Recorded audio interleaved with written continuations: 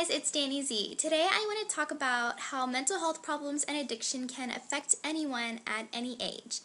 I've been pretty open the past few years about the fact that I have mental health problems and I've struggled with addiction, and I've received some criticism from older people telling me that, you know, I'm just going through a phase, I'm young, oh, I used to act that way too when I was young, you'll grow out of it.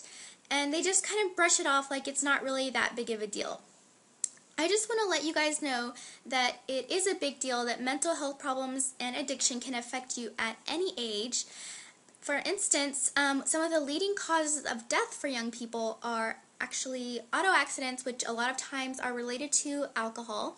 And suicide is another one of the top um, killers of young people, which is obviously related to untreated mental health problems.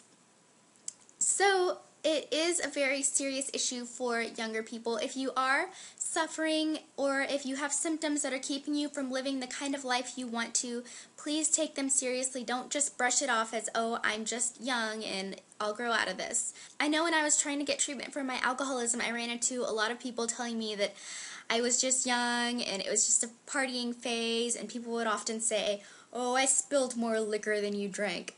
But don't listen to people like that. Mental health problems do not discriminate between age, race, gender, or anything like that. So if you have symptoms and they're keeping you from living the life you want to, please get help because treatment is possible and you can be happy. So um, there's no reason to go on suffering. Thank you for watching and I hope you'll check back with me next time. Bye.